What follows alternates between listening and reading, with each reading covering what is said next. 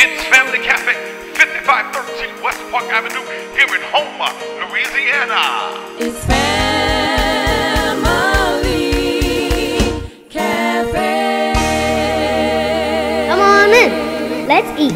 It's family.